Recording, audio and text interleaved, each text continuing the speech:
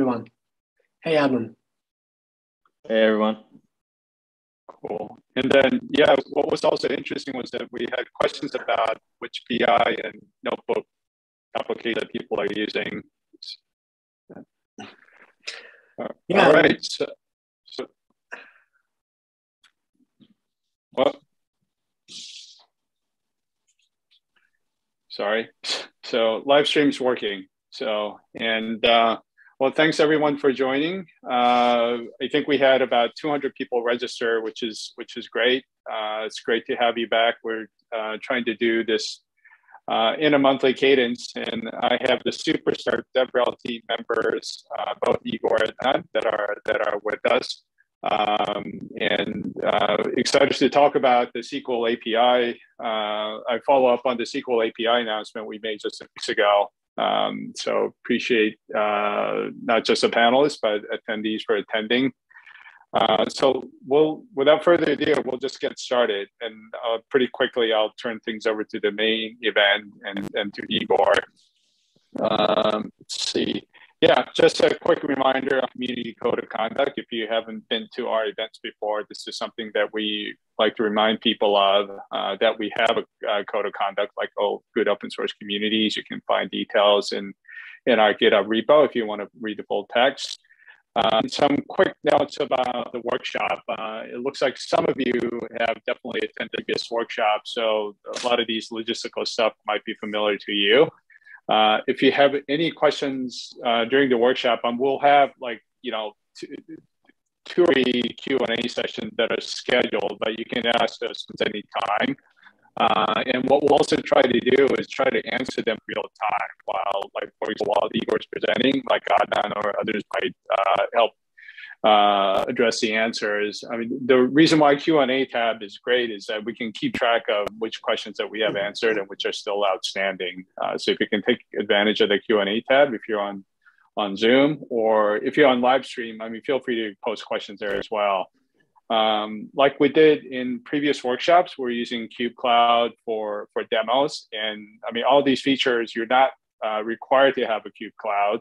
Uh, but it just gives us a nice environment to do our workshop and, and, and do demos. And we have a prep guide here uh, that I'll, I believe this is a link uh, that I just posted on chat on Zoom. Uh, if you haven't seen it yet, if you just register, for example, uh, look through that step-by-step -step guide that Igor put together to set your environment up for to follow along on demos.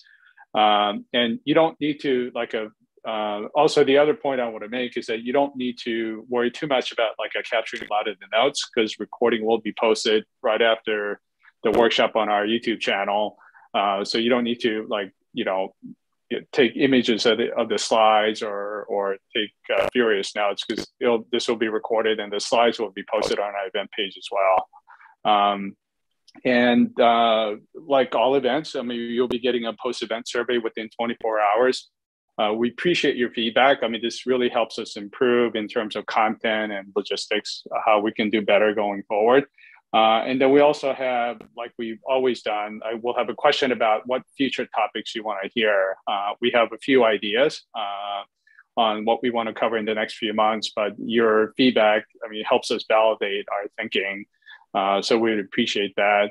Um, and in terms of, you know, this is a nice, nice tradition that we started like a couple of months ago. Uh, rather than sending out uh, like a cube merchandise uh, all the time uh, to all over the world, uh, we decided to start uh, donating to charitable organizations. Um, we started a couple of months ago with, with you know donating to like UNICEF. Um, I mean, last month was for you know supporting tech education for disadvantaged youth.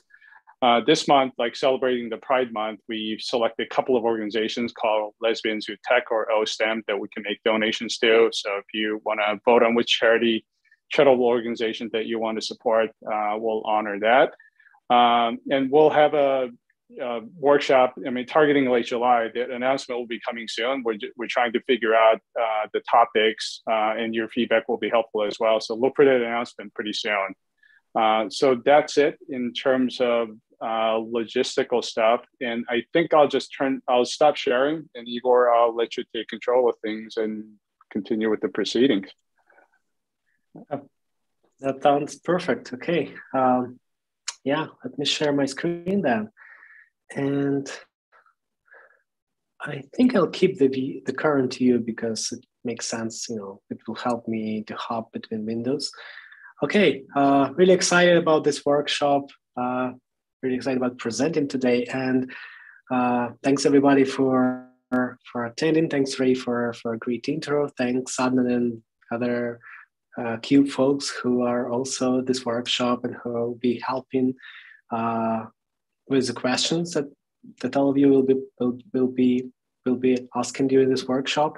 And uh, I think we are running a really nice poll currently. So if you haven't voted yet, please please do. Uh, uh, I observed that we are getting you know, really interesting, insightful um, data from there. So uh, I, one, one data point that I, in particular that I remember is that uh, some of you uh, who joined this workshop is not well uh, are not working with with a data notebook or BI tool currently. So hopefully the ones that the ones that I'll show you will you know uh, will become the ones you'll probably pick uh, for your next project or for, for the for the project you're currently working on yeah, okay. So with all this, let's get started. Uh, and here's what we'll be talking about today.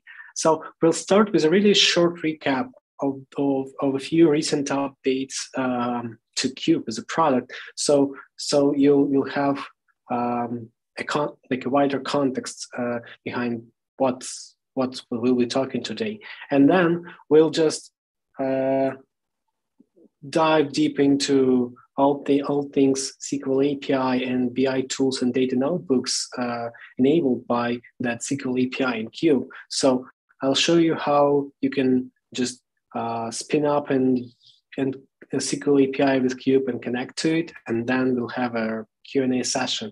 Then we'll explore all the features. Well, available uh, through SQL API. And well, in a way, that would be that would be similar to a recap of what you, I guess, all of you already know about SQL and how, how you can run queries in there. However, you know there will be uh, there will be a lot of uh, cube specifics in there, uh, and we'll have a Q&A session after that after that as well.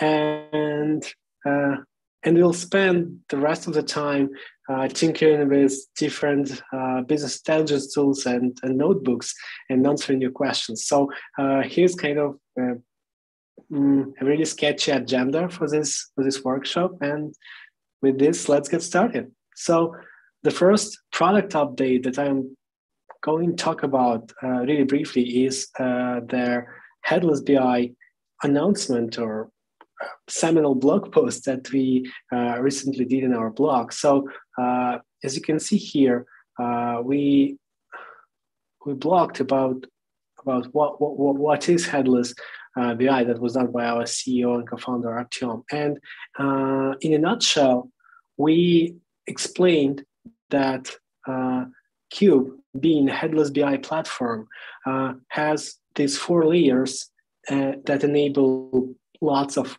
lots of use cases and um, put put Cube in a unique position to uh, to be the heart of, of the data pipelines you're building. So uh, first of all, Cube has this kind of universal connectivity to data sources, meaning that it can connect to all popular um, data source like regular databases like Postgres or maybe cloud-based data warehouses like Redshift or BigQuery or Databricks or Firebolt, or it can connect to uh, query engines like like Presto or any any flavor hosted uh, Presto that you might have, and many other data sources as well. And uh, even more so, Cube can connect to, to, multiple data sources at the same time. If you have uh, multiple data sources, well, you can funnel the data from them all to Cube. And, and then Cube has these four um, layers that provide uh, different values to you. So the data modeling layer allows you to model your, your business metrics uh, and, and use Cube as a single source of truth for metrics definitions. So uh, any data consumer down their um, pipeline, uh, down the stack, would would consume would consume the, the data in a consistent manner, meaning that same metric will obviously ha- uh, you know uh, evaluate or calculate to the same value, which is which might sound trivial, but it's in a silo data pipelines. It's it's usually the case where you kind trust a metric uh, coming from one part of a pipeline and another. You have to check, you know, what was the SQL that was run to to calculate that metric. You know, you don't need to do this with Cube. And also, Cube has this access control layer that again serves as a centralized, like single source of uh, truth for your security policy for the access to data. So, so you can um, control which queries are incoming from any of data consumers connected to Cube, and then you can you can decide whether you allow or disallow certain queries, whether you enforce mandatory filters on some of them, or, uh, whether you you know implement other security fe- features such as you know um,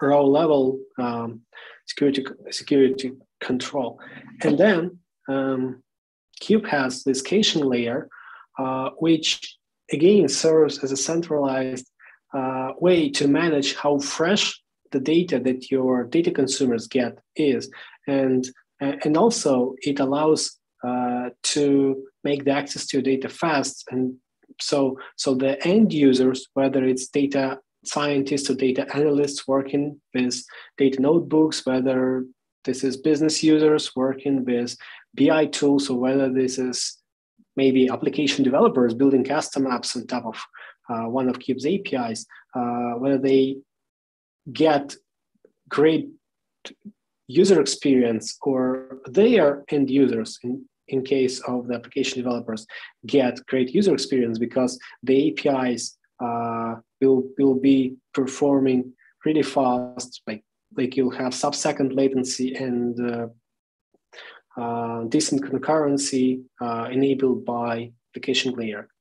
And speaking of APIs, Cube have Cube has plenty of them. So uh, the programmatic access for um, for custom build apps and embedded analytics is enabled by the REST or GraphQL APIs.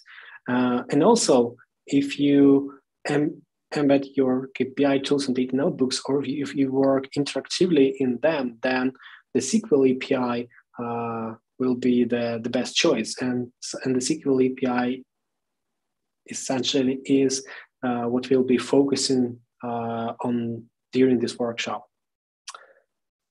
Uh, so uh, here's a graphic way to to represent what I what I, what I was just talking about. So this universal connectivity to data sources, universal connectivity to any kinds of data consumers, including big notebooks, BI tools, and custom build apps and, and whatnot. And all that possible because of different APIs that uh, Cube has, uh, especially the SQL API, which we'll be talking about. So uh, recently, uh, about a month ago, there was an update uh, to their SQL API, uh, but the whole uh, timeline of events uh, that led to this update and announcement uh, goes like this. So, uh, about six months ago, we released this preview version of the SQL API, um, which enabled some of the scenarios and like and, and some of the support for, for a number of data notebooks and BI tools, uh, um, for example, like Apache Superset.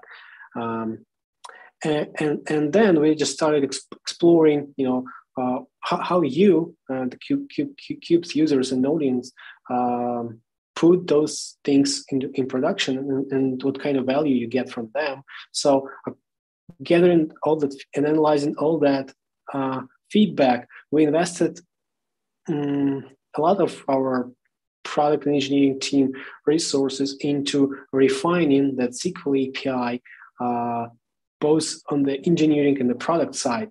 Uh, so uh, it got it got a new SQL execution en- engine based on Apache Arrow Data Fusion, uh, which is an open source um, query engine uh, written in in Rust, and it pairs really nicely with the rest of the Rust code base uh, that Cube has.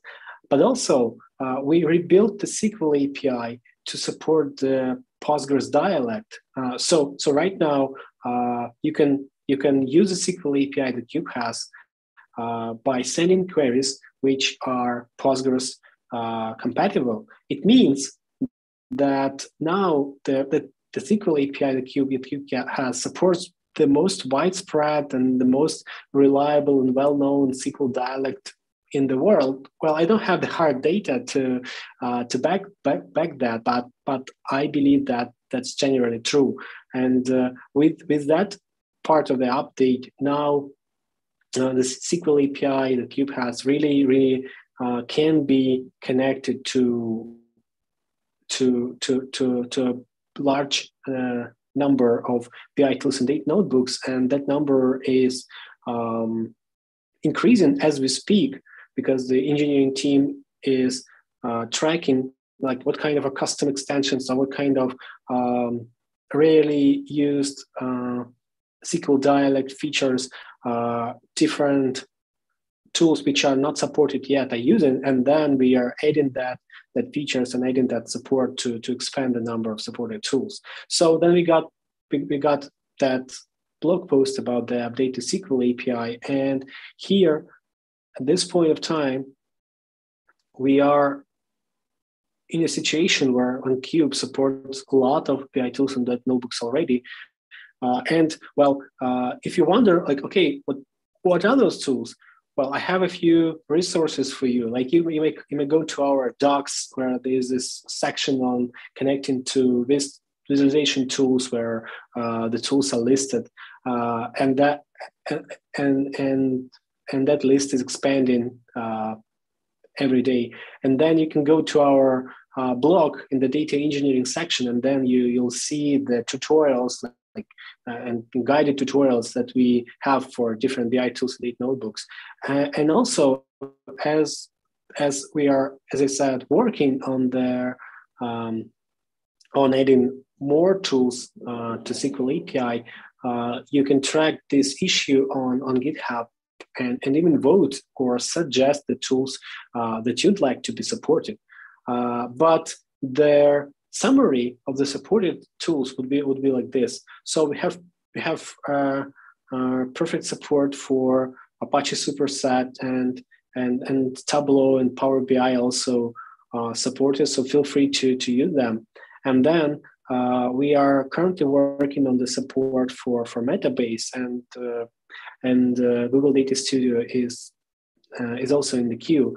And and and, and obviously we have, we've planned and we have now backlog there. Um, uh, the support for for Microsoft Excel and Google Sheets, and uh, one one might even might even speculate that Microsoft Excel uh, should probably be the most uh, wide, widely used uh, BI tool in the world. So we are getting uh, getting to the point where we'll be supporting uh, Cube as a data source for Excel as well. Uh, but that's not all. Uh, Cube also supports data notebooks, and well, you know that there are more than several dozen data notebooks in the world, but uh, it's it's it's true that the most popular ones of course, starting with Jupyter, uh, are supported with, with Cube. But then the modern cloud-based um, notebooks like DeepNote, the Hex, or or Streamlit are also um, supported. And if you and if you wanna join your your knowledge for for um, D3.js uh, charting library with data notebooks, you'll you'll obviously try Observable, uh, but you know many more data notebooks are also supported um, by Cube. Okay, so um, then you may wonder, okay, uh, there is a SQL API that, that got updated. There are uh, a lot of supported tools. So how would one connect to, to SQL API and, and use it? And well, there is nothing simpler than that.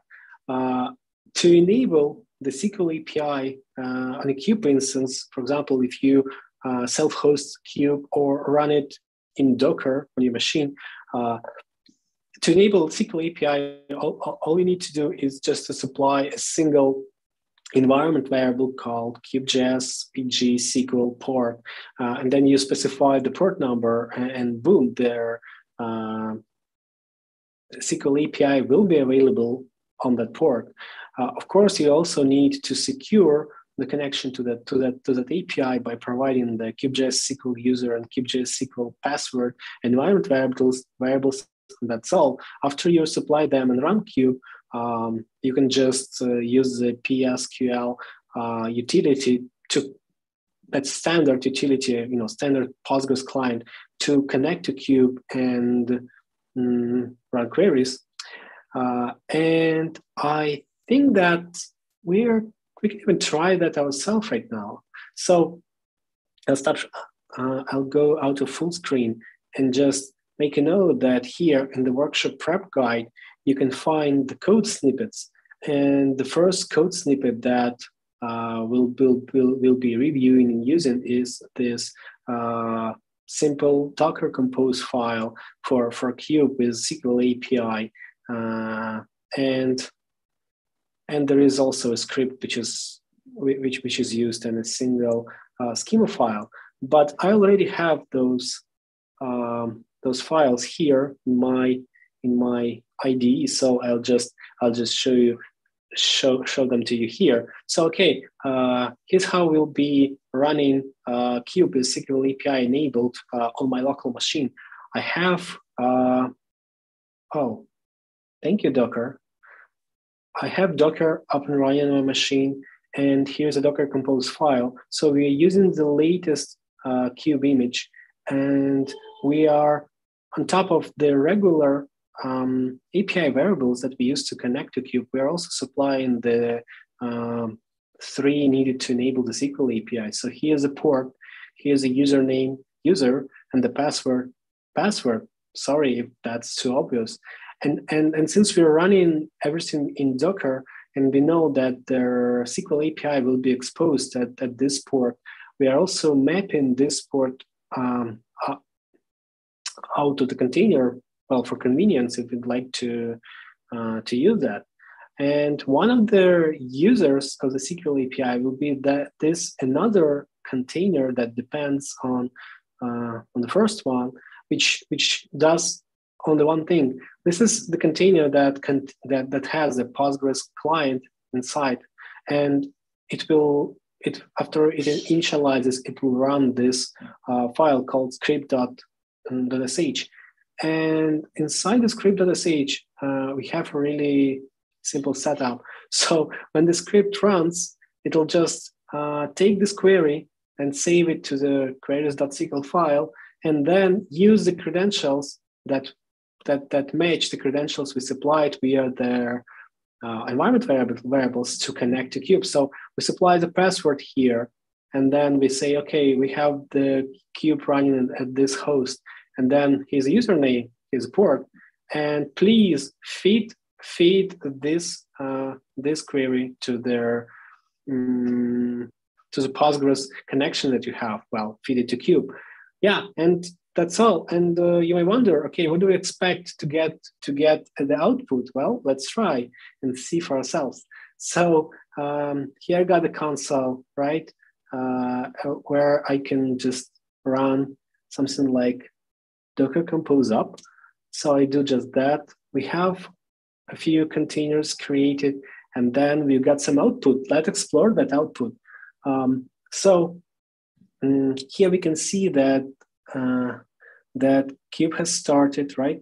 And, and we see that the CubeJS server has this version uh, 0.30, um, which, which contains the supported um, SQL API. Uh, and then we see that there SQL API itself uh, has started uh, and available is available at port for, at port 5432 that we that we uh, specified, right? And then we see the output of the second container that, that we had in our Docker Compose file. So uh, here are the results of running the query that we were reviewing. So it says, uh, okay, here's the table called orders in the schema public that's available through that API. And if you wonder what's what's a table, uh, we can go back and see. Okay, here's here's a cube called orders that uh, that we had defined in, in, in the data model, and so that this cube is available as a table through the SQL API. So uh, I'll stop the containers right now. Come back to my slides, but here's here's all that you uh, need to do if you wanna enable the SQL API if you're self-hosting Cube.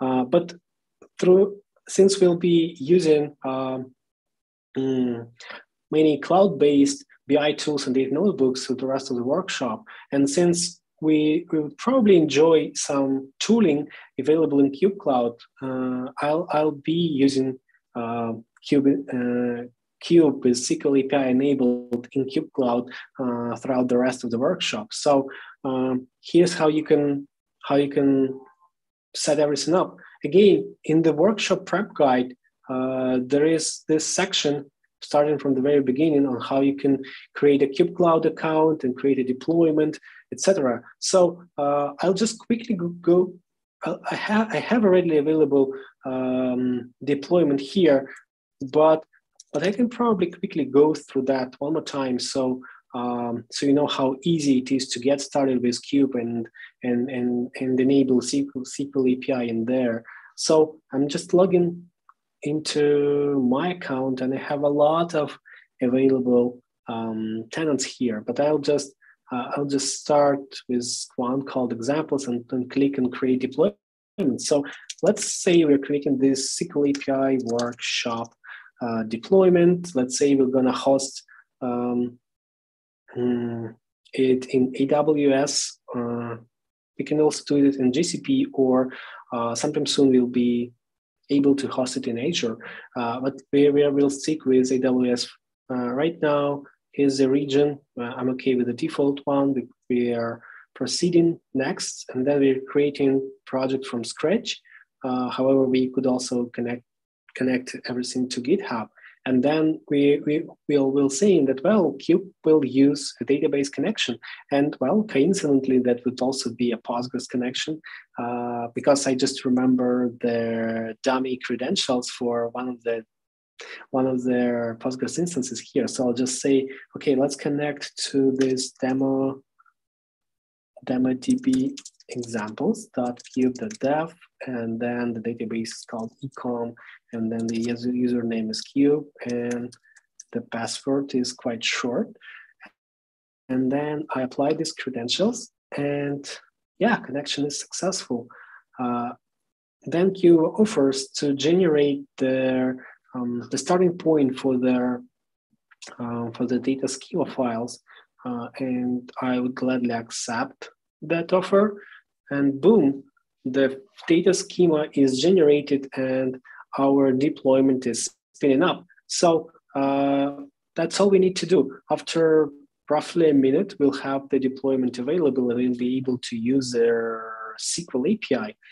But uh, let's get back to, to the slide. So, okay, what else do we need to do when, you know, to connect to SQL API? Well, we need some some tool to do that, right? So once we've got our API up and running, we'll we'll probably need some tool. Let's start with Tableau, right? So uh, I I don't have any preference for for the tool, honestly, but well, why not start with Tableau? So uh, yeah, this deployment is spinning up, but I already have this um, deployment here. And I'll just say that on the front page, you can find the credentials and the connection instructions for different APIs. So here's the REST API and SQL API and GraphQL API, and obviously we'll be focusing on, on, SQL API. So you can click here and you'll see readily available credentials for the SQL API inside this deployment of Cube Cloud. And since we'll be connecting to Tableau, we'll just focus on this Tableau tab. Okay, so uh, what about Tableau? Here I have my uh, free trial account for Tableau Online. However, you can also use Tableau Desktop if you like. And I'll start with creating a new workbook. And inside this workbook, I'll instantly offer to connect to a data source, right? So I'll go to connectors and say that I want to use the Postgres dialect for the data source. And then I'm prompted for the credentials. Well, the same credentials that I already have here. So I'll just copy and paste the server name, uh, the username, and the password here, and the database name is DB. Okay, I click sign in, and I I'm here. Here, the data sources and the connection to data sources set up here.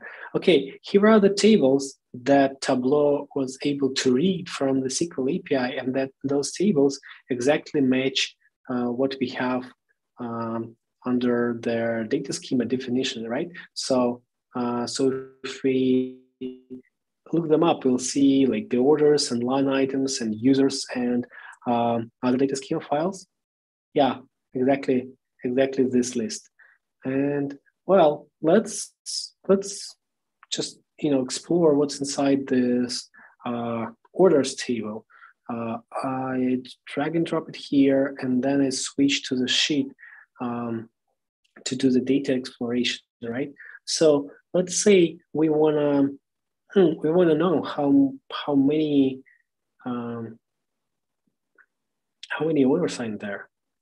Okay, it's 10k, right? And how how how can they be split by status? Okay, so they they have uh, there are orders in three different statuses. That that kind of makes sense because we are exploring the econ data set. Okay, but uh, we can also probably split them by, say, date, right? So what if we, what if we do something like this? Um, oh, we can probably move it like here. Oh, that, that looks interesting. So, so now we are uh, we, we are plotting their year time dimension and and and and we have year, year and here right but what if we want to get more granular we can press the plus here uh, and then we have quarter added and we can we can also say the quarter is you know uh, not something that we want to look at. We can we can we can add months right? So uh, well in just you know maybe 30 seconds, uh, uh, we were able to explore the, the data set of, of the you know of the e-commerce orders that we have and and and visualize and do this kind of multidimensional analysis with the statuses with the you know years and months and uh, and and now we know the number of number number of orders uh, you know in each status uh, in each month. Well, that's cool. Uh, but uh, can we try something else? Well, I have something else here. So here's uh, the Apache superset running in preset cloud, which is you know uh, a managed uh, hosted version of Apache um, superset with batteries. So here's my workspace. Uh, and well, uh, as you as you will see in a minute, it's not that complicated to connect you to Superset as well. So uh, we'll, we'll, we'll need to go, okay we'll need to go here under databases and create a new database. And well, we'll say that it uses a Postgres dialect here. Okay, and uh, now we are prompted to to provide the credentials, and well, we can we can do this in the same manner. So I navigate to the, to the page, SQL API, how to connect, and then I uh, select Apache superset. Uh, and then the procedure is quite similar. So we're providing the host and the port and then the database name and yeah, the username and the password. After we do that, we just proceed by clicking this connect button and boom, in a, in a second, uh, we've got our database connection setup. So this is the first step in Superset. And the second step would be uh, to define the data sets. Well, mm, you can think of them as tables on, by reading them from, from this um, database, right? So we just say, okay, so here's a database we've set up. Uh, okay, we need this public schema and and then we, we would like to explore orders, right? And then we add this um, orders data set, and then we go to the charts tab. Yeah, okay. So here are the orders.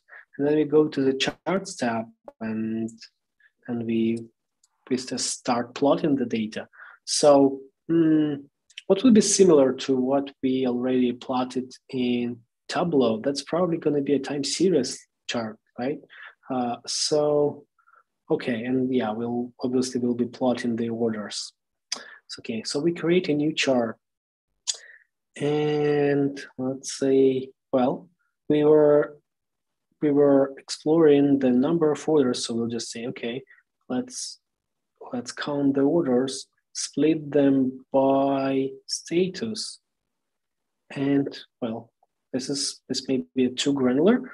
We want to have the months just like we eventually had in the Tableau. So then I create this chart and well, here it is. Here's the data. So uh, the the main difference with Tableau is that well, it's it's it's not tiled. It goes to the and also not stacked, it goes as a single organization. But as you could probably tell, the data data is the same. So here's what you can do. Uh, you know, if you have a minute and a working uh, Cube instance with SQL API enabled, within a minute you can connect them to Tableau or to Superset and explore the data, right? Uh, so here are the steps that we've taken, and then just uh, make a note that when you have the access to, to the slides, you can you can also check the guides that we have uh, about working with those tools. And then, well, it gets pretty much. I think it might be getting you know kind of um, you know um, like uh, like like like I'm going through the same things again and again. So let's let's for change try something new. So first of all, uh, uh, let's let's see how you can use Cube to how you can, you can connect Cube SQL API to a data notebook.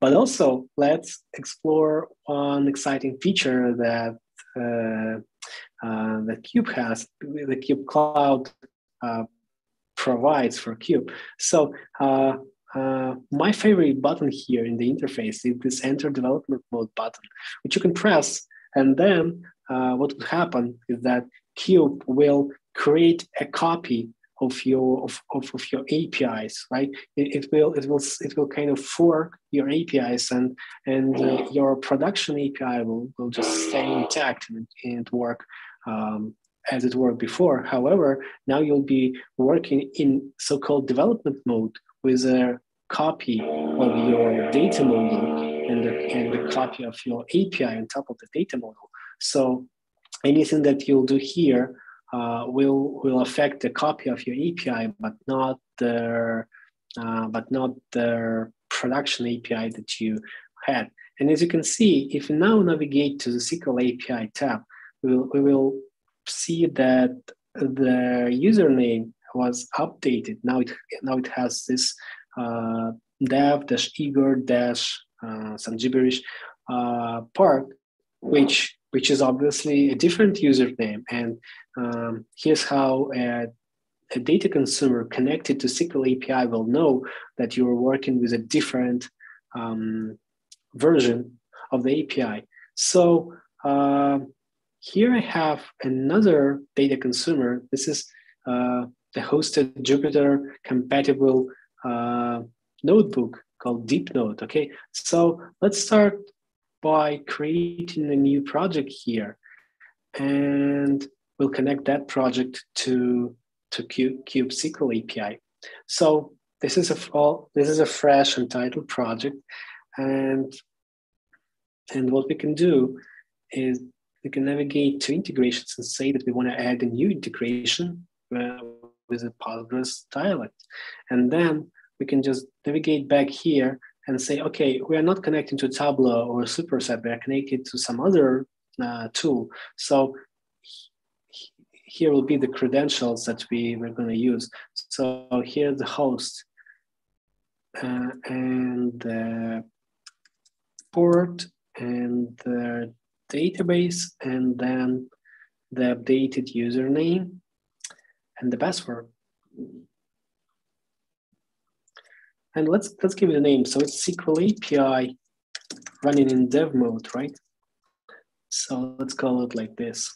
Okay, we create this this integration and you know just full disclosure i already have a regular like a production version of the same sql api connected here but we'll be working with the with the one that we've just added called sql api um, dev mode okay so i go back to this uh, untitled new new project and i navigate here to integrations and, and i say okay i want to use uh, this SQL API dev mode uh, connection in this DeepNote project. So I connect to it and well, I can literally start writing code here. But I what I need is the SQL query. So I'll just create a new new cell here. And well, what can what can be simpler than than than select star query? And since we're already familiar with this orders cube, let's let's run that. So yeah, uh, working with a notebook, you'll you'll have to wait while while the resources, the hardware resources are provisioned to to a notebook, and then when you're ready, you can you can run the cell. Okay, we'll need to wait for a few seconds, and yeah, here's the data. So uh, well, uh, we won't be digging into the details of what we see here right now, but you know, you, as you can see, uh, there are some data uh, that was fetched through the SQL API, and now you can you can explore that. And that was that was a query for the orders cube. Cool. Uh, well, uh, I I didn't run the stopwatch, but but it looks like we're able to uh, get DeepNote connected to SQL API again within within within a minute or something like that. So with all that said, let me come back to my slides, switch to this Q&A slide, and let's have a Q&A session. Cool. Uh, well, thanks, Igor. I'll take a, a let you uh, give you a chance to get a glass of water or something. Uh, yeah, I mean, a lot of people have posted questions, and, and thank you, Adnan, for. I think you've answered quite a few of them already in the process of answering another one. And I'll just paraphrase like one of the questions from Yvonne. I, I also tried to get a care, uh, uh, clarification on on Zoom as well. Uh, I think the concern is about you know, when you're using the SQL API, what will be what the response time will be like when you're dealing with like, you know, I think Ivan mentioned like 700 million plus rows. Um, so like Igor, I don't, I don't know if you want to like sort of uh, either one of you want to answer that live, but since since I already sipped, uh, you know, yeah. uh, from from a glass of water, I can probably take that. So, so uh, yeah, the beauty is that um, uh, all the queries uh, that Cube that Cube is processing, they are processed in the same way. So regardless of the API that you're using, whether it's SQL API or um, or REST API or GraphQL API, their execution time will be the same. And obviously, their production setup and the recommended way of running uh, and using Cube in production is to set up the pre-aggregations within the caching layer. So pre-aggregations is a feature which you can think of as a declarative definition for for with a cache that should be used to serve your queries. So um, uh, you can define pre-aggregations and and then uh, any query incoming to any of the APIs will use them and, and your queries will be accelerated. And you can expect that that with pre-aggregations, uh, a query will definitely run in well under a second. It's usually like, you know, for, for complex queries, it might be 200 milliseconds, 300 milliseconds tops, uh, and, and you can also optimize that. And then the pre-aggregation also allow for a decent level of concurrency, which is not that critical for interactive data exploration, um, which is usually the case for, for SQL API. But if you have, you know, lots of users accessing your, say, Tableau dashboards, well, then you would probably be glad to, you know, to have the support for decent concurrency as well. And uh, yeah, probably that that's it for this question. And I hope that probably you, Adam, can, you know, uh, send a link to their pre-aggregation uh, documentation to the chat. Yeah, so, so, so yeah, so the folks can explore that as well. Yeah, and I, I think there was a follow up from Ivan. I think that even I know the answer. I mean, although you use Cube Cloud to do this demo, like all of this is available. Like what you just demoed is available on self-hosted open source. Um, so I, yeah, so I, I, think that was that's sort of a quick one. Uh, I'll also, you know, kind of recap. Uh, so Igor, you really have a break. Some of the questions that, that were answered on online by by Adnan. I mean, there are questions about uh, segments, and I mean, are these basically Boolean dimension? Yet the answer is, is, is yes, and then Adnan provided a link to the documentations. Um, there was a question on on joins. Yeah, I, I, think Igor, you'll be talking about this uh, uh, further down the road. I mean, it's I think joins is only uh, possible through proxy dimension, but this is something that we're working on uh, as a future fe- uh, as a future feature. I guess that's hard to say. Um, and I think last one there was a questions about. Uh, I mean, this is a popular question no matter which workshop we do. Uh, permissions, access restrictions. Uh, and Adnan, I think you provide a couple of links there, including RBAC. Um, yeah, this is so this yeah, is yeah. this is a moment where, where where again I'm really happy to say you know really happy to to, to say that, that we, we are working on our open source uh, software which is which is really great so uh, yeah of course of course you can you can use Cube as you like you can self-host it and and, and that's that's what you know the majority of uh, the of, of Cube's audience uh, does, right? But but but also if you're if you have if you're working in a team, if you think that some additional like you know features that might enhance your development workflow, like this dev mode, or or some some additional security features like like the compliance with SOC 2 uh, might be of use to you, then you can just you know start using Cube with Cube Cloud. and uh, I believe that's probably the easiest and the most comfortable way of using Cube. However, you know, uh, I run I also run Cube in Docker all the time and enjoy it. And uh, yeah, uh, as for the questions about pre-aggregations and and their kind of metrics defined in a schema and then used in the data consumer, uh, we'll cover this just in a few minutes in the workshop. So so everyone everybody just yeah. rest assured. Yeah, I think for the interest of time, I would probably want to move on and we'll address uh, questions uh, as you're speaking. So, cool. Igor, if cool. you don't mind, cool. I'll, I'll let you continue. So. Yeah, thank you, Ray. Okay, then let's dive deep into the SQL API features, right? Uh, so uh, I'll show you a few slides. Uh, well, actually, just just just maybe a couple of slides. So uh, what we'll be reviewing right now is uh, what is available through the sql api so what are the entities that you can access through that? And then what kind of queries you can run against the sql api and since Cube is a tool that you use to run uh, analytical queries which which as you obviously know are usually aggregated, uh, then you know what will happen if you run a non-aggregated query. We'll explore that, and then we'll uh, we'll check how you know as um, SQL gurus say selections and projections work with Cube. So uh, we'll go through all this uh, all these features and how they map, how how the features of SQL API map to the to the features uh, of the REST API. Cube also provides it if you if you had the chance to to dig deep into that. Okay, so uh, that, that's the moment for me to stop sharing the slides and go to DeepNote because uh, in addition to this untitled project, I also ha ha have another project called the workshop here. So um, let's see what we have here. Okay, so um, I'll probably I'll probably collapse. Okay, I won't be doing that.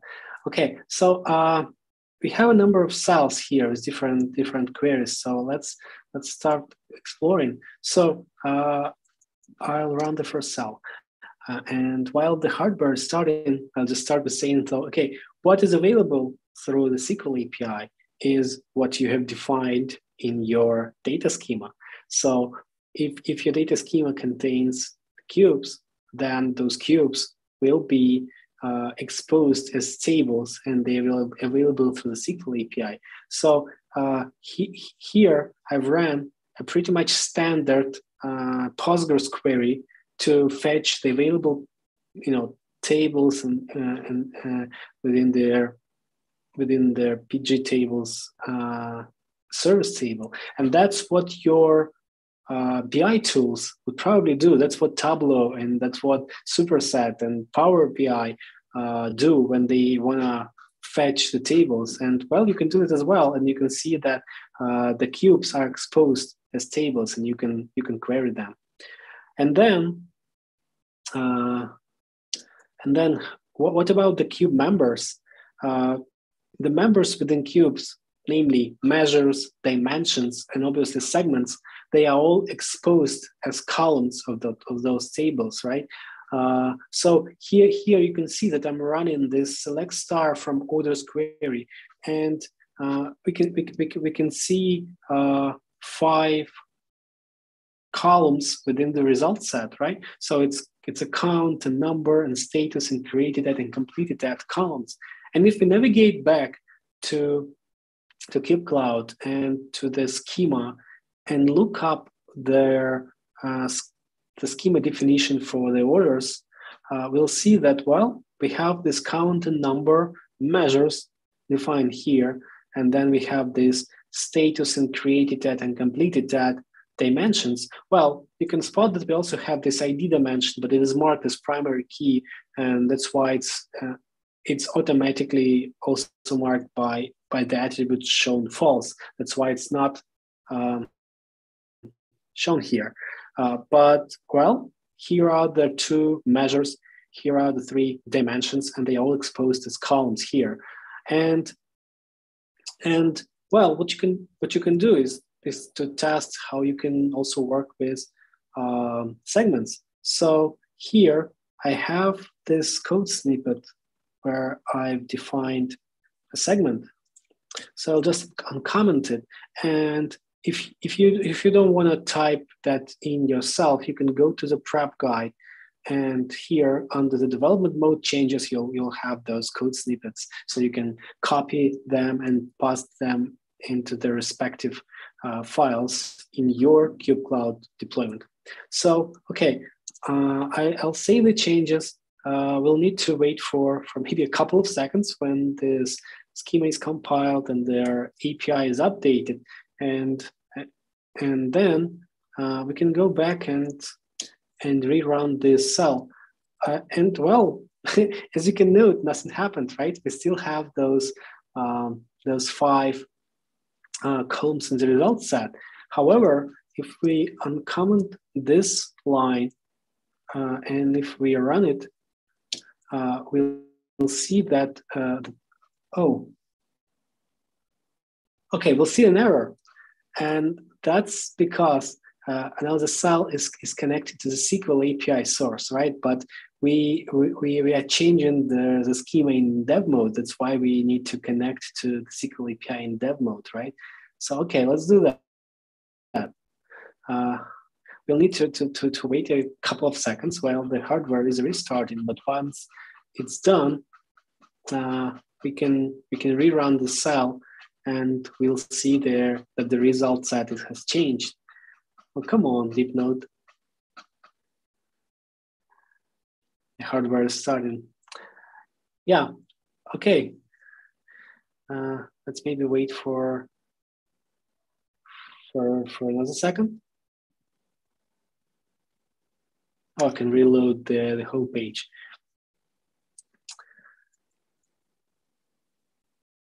Nevertheless, I, I think I think that working with with a hosted uh, notebook, you know, when you have a multi-user uh, environment is, is is more convenient than you know, say, setting up a Jupyter for for, for, for many users at the same time. Anyway, we now have the notebook ready and the SQL API in dev mode connected to the cell.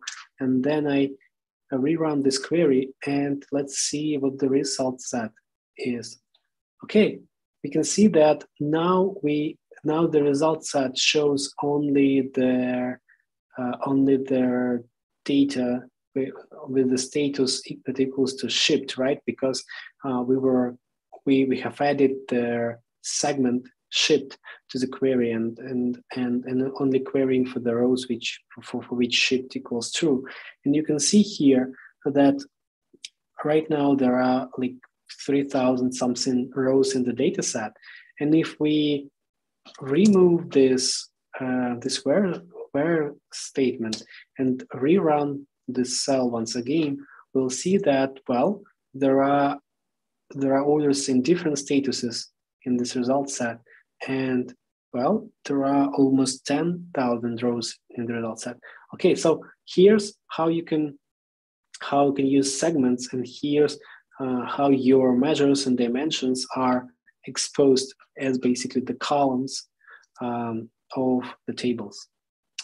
And then let's uh, let's let's see how you can how you can uh, do selection or how you can filter uh, the row the rows from the result set. Well, um, obviously, everything that you can do, or almost everything that you can do with the REST API, you can also do with the SQL API. And uh, there is some kind of feature parity here. So uh, in the REST API, you can add filters, and well, you can filter uh, the, the results with where statements. You can order results, obviously with order by, and you can limit what which rows you see with the limit statement. Quite obvious for for the ones of you who already you know know SQL, right? But let's show show that. So I ran this query like select count and status from orders, and and I decided to group everything by status. Okay, he, he, here are the counts of rows in different different statuses, right?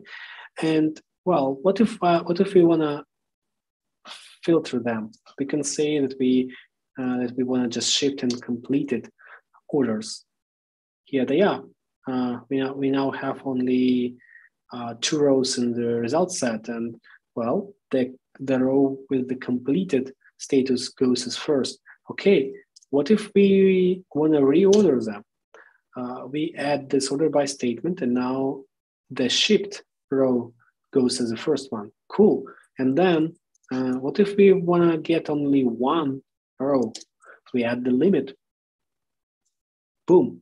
So here's how you can do the very basics of kind of selection. So obviously, as you could expect, where statements and order by statements and limit statements, they all work with Cube SQL API.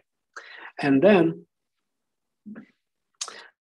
and then uh, you, we, can, dive deeper into that.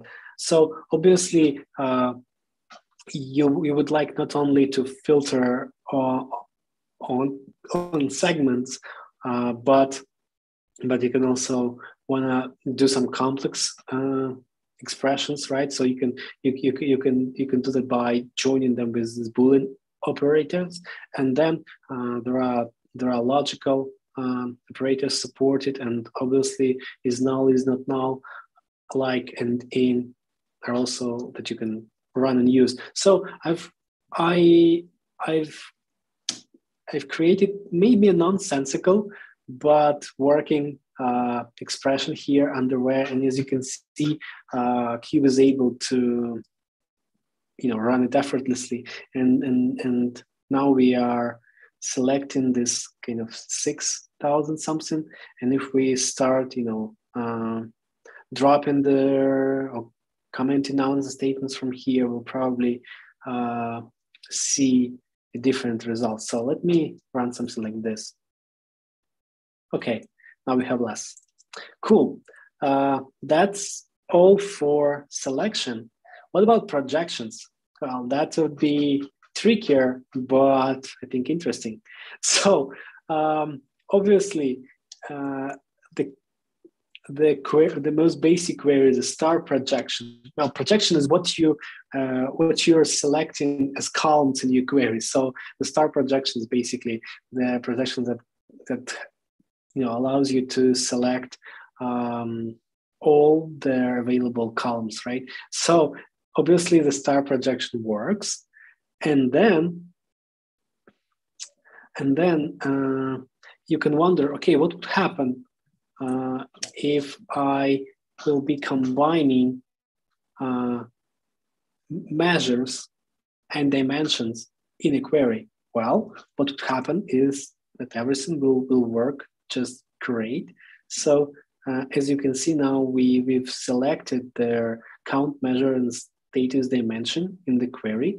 And well, you, you, you, you, can, you can also spot that the data is grouped by by the dim- dimension, right? So as cube is always, you know, as, as you because cube runs analytical queries, cube is always grouping uh, by their by the dimensions, right? By the all dimensions in your query. But you know, for the ease of your data exploration, so you don't need to always write like group by and then list all their dimensions. So maybe just say group by one, two, three, four. Uh, you can just omit that and Cube will apply the group by to your query automatically. Uh, and when you're when you're using these ungrouped statements, you can you can just you know you can just specify your dimensions and you can specify your measures by their bare names, which is very convenient, right? So for this, really simple SQL query, you get this really simple result set. And then, and then, okay, you may wonder what would happen if, um, if you don't rely on this automatic group by addition mechanism, but just uh, provide group by by hand. Well, it won't work. You'll see an error. And you may wonder, why that? Uh, but but if you're you know and maybe not a SQL guru, but just you know, uh, but just a very curious person, you, you, you might might already know the answer. Uh, well, because the projection reference is a non-aggregate value. It means that well, uh, obviously the status is a dimension that we are grouping by, but then uh, what is count? If we are grouping by status, uh, the, re- the rest of their projections in the query should be uh, aggregates, right? But count is not an aggregate, hence the error. And well, obviously you can you can uh, compose a query that would uh, that would have the group by uh, statement and that would work. So let's run this one. Uh, and as you, okay, I need to comment out this one before.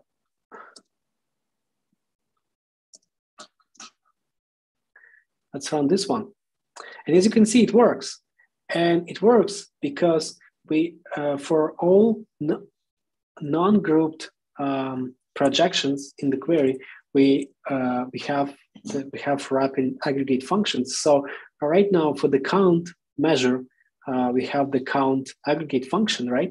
And of course, if you're if you've been working with Cube, you know that the um, the measures that Cube uh, allows you to define, they can have different types. So so Cube SQL API supports different aggregate functions for different kinds of your uh, measures. So for count for, for count measure, you will say count. For for count distinct or count distinct approx um, measures, you'll just say okay count distinct. And then if you have a minimum or maximum um, measure type, you will use min-max. So so the queries that you're running, they you know they are sound and they look like naturally. And then you may wonder, okay, uh, what if I just don't want to bother, uh, you know, just you know going back to my um, data schema and just looking up the type, or you know, what can I do? Well, you have an option. Uh, there is this kind of wild wildcard, wildcard aggregate function called measure, which uh, Cube SQL API also provide provides, and and and and that aggregate function basically works with with the measures of any type. So if you wanna compose a grouped query, then you put, put all your um, dimensions in group under group by in the order that you would like them to be, and then and then you just um, wrap the rest of your measures in the query with measure, and everything works. Uh, so as you can see here, we, we've got again the same simple data set with the status uh, column and the column called measure, then balances orders dot count. And you may wonder, okay, but what if I, you know, for the sake of, uh, you know, of the simplicity, uh, you would like these names to, to look this to look different? Well, then you can use aliases. So, um, so you can say that any any part, any projection in your query can can be marked as as, and then you can provide an alias, and then you'll you'll see something like my count here. So here's the most basic recap of the features that uh, that the SQL API uh, provide to you. So I, I'll quickly jump to the next slide to talk about their things that are not perfectly supported yet, uh, but but but they I'll provide some pointers on what you can do with that. So uh, obviously, uh, the REST API the Cube has uh, it it's quite mature and it has some features that that we've been developing over time, like data planing or the support for for providing custom time zones. So these these features are not yet uh, in, in, in the SQL API, and there are uh, issues on GitHub where you can uh, subscribe for notifications and where you can track the progress, um, uh, so you know when they are shipped. Uh, and there's also um, a kind of a limitation around joins. Well, obviously, uh, the the correct way to put it is that well, you currently you cannot uh, write a query that would have something like select something from orders left join some other cube. Uh, but uh, but but despite that, you can use joins with SQL API, and there is this approach that's called um, using proxy dimensions or just references to other cube members that I'll quickly uh, show to you. Okay, so when you're working with a data model uh, with in Cube, when you're composing your data schema, you, you can not only reference the columns in the row data, but you can also uh, reference other measures and other dimensions uh, of the same cube or of other cubes within your uh, data model. And that's very powerful uh, thing. So here, what here how, how you can say reference this orders that count measure within some other cube that's not orders, and that would, would be called. then you can create kind of a proxy dimension or a proxy measure in in the cube that you want to join with other cube, and then cube will will do the join under the hood for you. Here's how it works. So mm, let's say that mm, let's say that we want to uh, explore the data about users and we want to know how many orders every user did and how many products uh, were in, or, or what were the products, product names in those orders. And well, if we go back to our notebook, well, we have a query in here, right? Uh, let's select this mode. Uh, yeah, here's the data in our users cube, right? So we have we have some folks from from different uh, cities who apparently made made made, made some orders. Uh, but what would we do if we want to know how many orders they they, they did? Uh, well, naturally we would probably say something like select blah blah blah from users left join orders so on other user ID equals user ID etc. But uh, here's how you can do that with Cube um, currently. So um, let's let's go to our users cube and and have a look here. Uh, here's a here's a measure that we can define. So this measure is called orders count, and what it does, it's really it's really simple. What it does, it just references the count measure of the orders cube, right? So if you go to the orders cube, we'll see that count measure here. And in the users cube, we are just reference, referencing it. So we're creating this kind of proxy measure. Uh, and uh, Cube is smart enough to, to understand, okay, if there's this users cube and then we are referencing a measure from the orders cube, then a join must happen under the hood. So um, I've uncommented this one and I saved uh, the changes. I can also uncomment this proxy dimension and just save it again. And then when I go back to DeepNote, uh, I can run, run not only this query, but also this one. So you can see we're also querying for first last name in the city, but we're also querying for the orders count from this SQL API in dev mode. So let's see what the orders count is. Boom. Okay, so now we see that, well, every user has an has a count associated uh, with that user. Well, if, if you wonder, okay, but uh, what happens uh, under the hood, then like where is the join? I can show you that.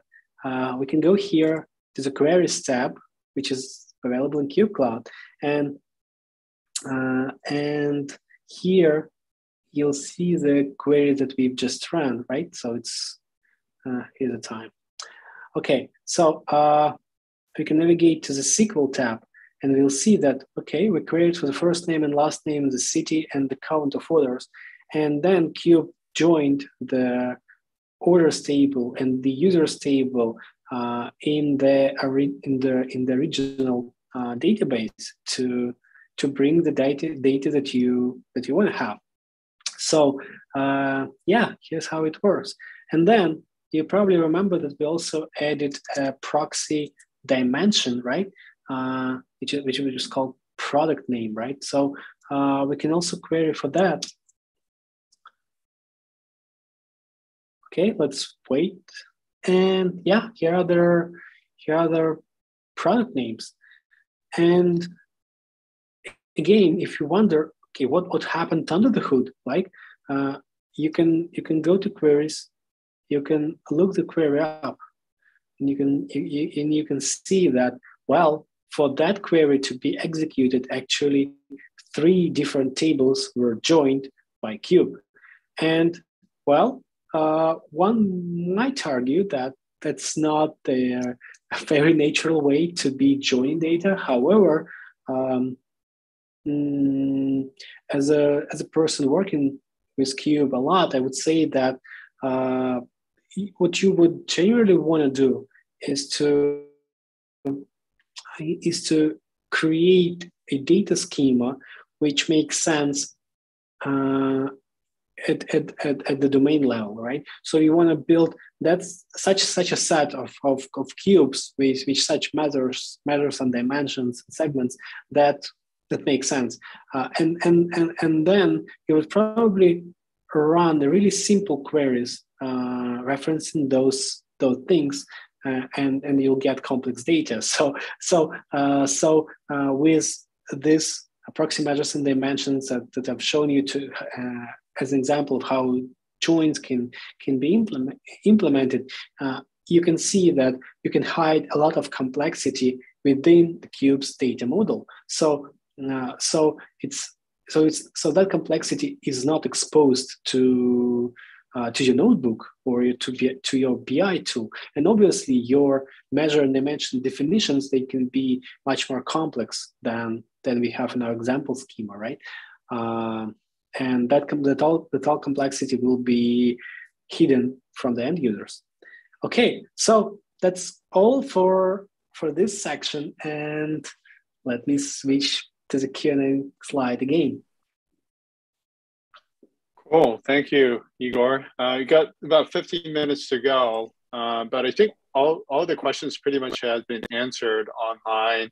Uh, Adnan, I sorry to put you on the spot, but are there were there a couple that you want to sort of highlight? Uh, I think uh, people hopefully have read through all the answers from you and and Pavel as well. But if you want to highlight a few, uh, just to reiterate uh, your or expand on your answer, that would be great. Yeah, definitely. So uh, first and foremost, there were a few questions around joins in SQL API. Um, we did send send y'all links for that, so you can read about uh, that in the documentation. But Igor just now explained it in in in more detail, so you got a proper explanation there from Igor uh, now in live as well. So that should be good. Um, that should be good on that. Um, and I, I reckon that was the the main thing we should highlight. Cool. Uh, yeah, and like I said, we got about like now like about 14 minutes left. Uh, like how would how should we, uh, Igor? Like, what are your thoughts on? Uh, I think we got two like yeah. decent topics like pre-aggregations and multi-tenancy. Uh, but I'll let you. I mean, I'll let, obviously let you take the lead and uh, spend the rest of the time. But yeah, yeah. Thank you, Ray. I think I think yeah. what, we, what we can do is just to well, since we've got a question about that, uh, we can talk about about pre-aggregations and and then maybe spend the rest of the time uh, answering answering the questions. I know uh, I'll also, I'll also talk about multi-tenancy, yeah. Uh, but but mm. I think we are we're uh, we are running the workshop for more than an hour probably it would right. be a grueling experience for us to go on and on and on indefinitely. So let's just cover the things that were asked for first. Yeah, okay, and if, so, if we run out if we run out of time, like we can do like a separate demo at like a monthly call or something just as a follow up. So uh, yeah, I, I agree with you. We should answer the questions and just that should be our priority. Cool. Yeah, and, and that means that means folks that you, you, you should continue piling up your questions in, in, in the Q&A uh, tab, right? so please do. We'll be happy to answer them. Okay, so pre-aggregations. Um, as I said, pre-aggregations are a feature of Cube's caching layer, and that feature is extremely powerful. This is something that uh, we are really, well, at least I am uh, really, really proud of. And I think this is one of the yeah, most exciting features of Cube? Well, uh, and what I'm most excited about is their value or their outcome of applying pre-aggregations to your data model. So basically, uh, if you have a query running for any time, you know, any query latency, then you'll be able to minimize that latency and make it be, you know, way under a second. Uh, with pre-aggregations, it's it's usually that for for for for for a large data set in any data source for any query you'll you'll get latency of two or three hundred milliseconds and well something like you know 100 per second concurrency or even more uh, and that can scale. So let's see how we can how we can uh, use pre-aggregations with sql api well because you can you can you can use pre-aggregations with any API. So um, let me see what I got here. So here's our notebook, and oh yeah, oh yeah, and I have another cell here. So I'll obviously switch to the dev mode here, and and let's run this query. So when I run this query, we, we've got some we've got some results, right? And uh, uh, well, this is the cities in which our users live and accounts for them. If we navigate back to Cube Cloud to their queries tab where all the query stats are present, and we and we look the query up, here it is. It says that it, it, it, it's, it was run, it was run uncached, which means directly against the database, uh, source database. Yeah, so here's the SQL that was run, pretty much the expected one. And well, the duration of the, uh, of the, the obviously the latency that it was um, it was required to run the query that's, that's quite substantial right so uh, we can even you know navigate here and see how that latency is break, broken down by different steps of execution but i'm more interested now in looking at this and this um, warning sign here which says well you can use pre-aggregations right? And here's how you can do that. Let's navigate to the workshop prep guide. And here's a snippet that you can apply to your data schema. And I think I already have that snippet here. So I can go, go to the users and I just uncomment the same snippet. And well, this is probably the simplest form in which you can you can set up pre-aggregations. So what you, what you say, hey, I want to have a single pre-aggregation defined for that cube. Well, you have you can have multiple, uh, but let's start with one, and then you have just to list the list the measures that you'd like to be to be pre-aggregated alongside the dimensions that you want to pre-aggregate it, uh, and that means that every any query that includes a subset of listed measures and dimensions uh, will match the pre-aggregations will be accelerated uh, by that pre-aggregation. Well, I'll be frank, the pre-aggregation match rules are slightly more complex than that, but but probably that's uh, uh, that's not something that we should be digging uh, into right now. And, and the last part here is this refresh key definition, you know, which we just says, okay, uh, let's let's make sure that the pre-aggregations will be uh, built asynchronously and refreshed every hour. And obviously, Cube has the flexibility to allow pre-aggregations to be rebuilt, say, based on, the, on arbitrary SQL statement, but that's enough for, for, for our case. Okay, so here's a definition. I'm saving the file. And well, if you're if you're working in Cube Cloud, you can then navigate to the pre-aggregations uh, tab here, and you'll see your pre-aggregation uh, users main, and then and then you can you can even trigger uh, that the building of that pre-aggregation manually. Well, uh, and, and I did that because we are in development mode right now where the automatic refresh is disabled uh, and the pre-aggregations are built either you know manually when I press this or uh, on demand when I run the query. And and but of, but of course when you exit the dev mode and and go into production mode, then pre-aggregations will be um, built automatically. Uh, okay, so let's run our query again. So select count and city from users. Boom. Well, I don't know.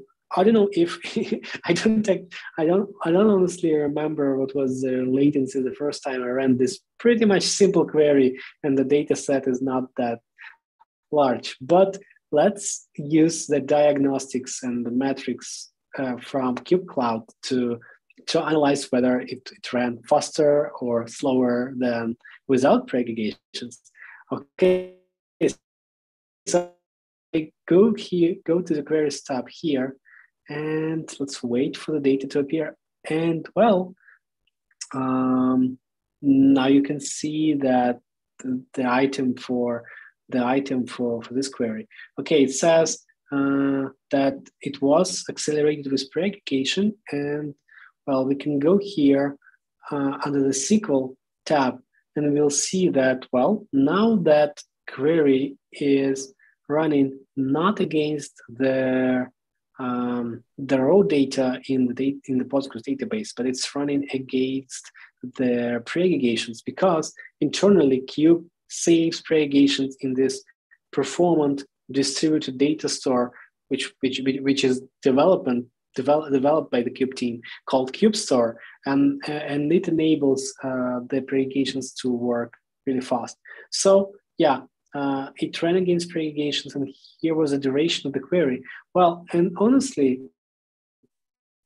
uh, you would say they would probably say, okay, what's the difference? it was 300 milliseconds here, 300 milliseconds there.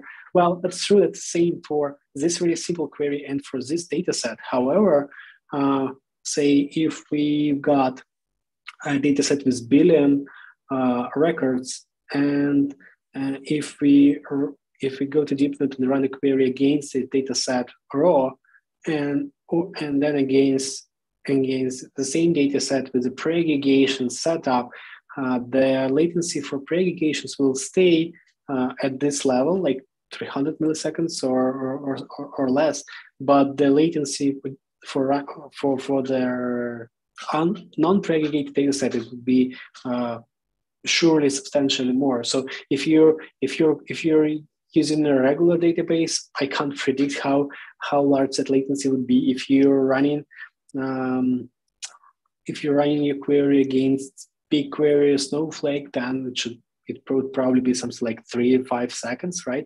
But but again, it would be substantially more and probably more costly than with pre-aggregations. Okay, and let's try to gather some more data. I, I'll run this query once again a few times. So, so let's see if, if the latencies we are getting here are consistent. So I'll also update this, um, this page.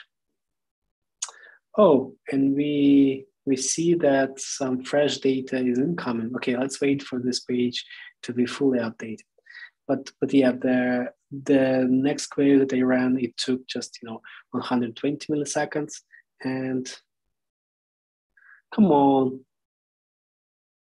let's see let's see the stats about the other two queries. Okay, now it's like 100 something milliseconds, uh, way less than 300. Okay, so here's, here's the power of pre-aggregations, and here's how you can use it with a SQL API. Nothing changes for your BI tool or for your data notebook, except the latency. You're getting the results faster. And of course, you need to account for the uh, network latency and, and, and, and the time required to transfer the data set from, from cube to notebook and then for it to be displayed here. But, but, but you know, for, for a substantially sized data set, that would be uh, something that you would notice. Okay, and I see that we are getting close to 90 minutes, so I'll just spend one minute talking about the implementation of multi-tenancy. Long story short, multi-tenancy is a feature that allows you to process their queries coming from different tenants or different users uh, in a different manner. It, it helps, it, it, allows you to customize how your um, queries are processed, which cubes are available, which, which measures and dimensions are available. Uh, you can customize the pre-aggregation settings, you can customize the um, security, like access control layer. And well, multi-tenancy works really great with all the APIs and it's also supported in the SQL API. There is this uh, page in the SQL API docs about custom authentication that, that has a code snippet that shows how you can how you can provide the security context through the SQL API.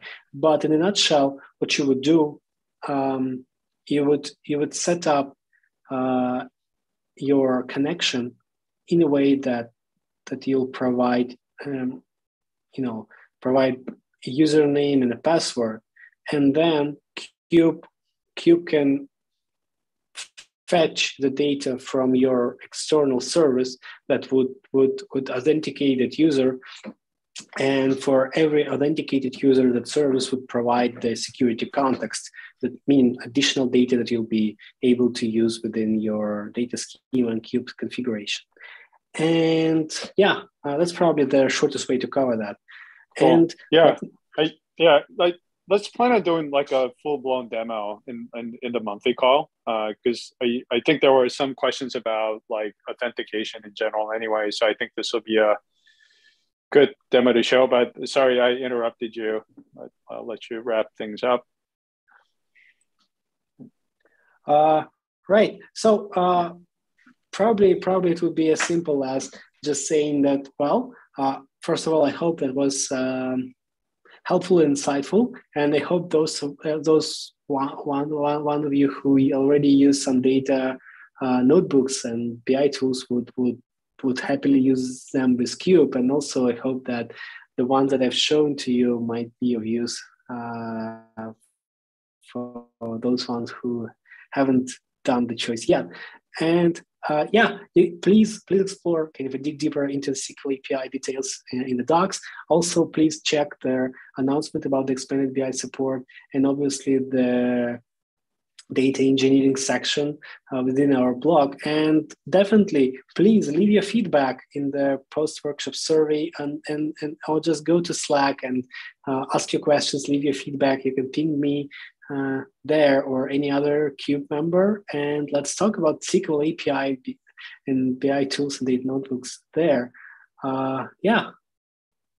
Cool. Awesome yeah i mean just one minute over 90 minutes but i hopefully people are okay with that and i think there was one outstanding question from ling jiang um, yeah i think we probably want a little bit more context on the question so hopefully we can follow up on on slack uh, on that question uh, yeah but we'll uh, thank you adnan pavel and, and igor and uh, thank you everybody for attending i'm sticking with us for 90 minutes and we'll see each other again in, in about a month So, cool. Thank you, Have folks. a good day, everyone.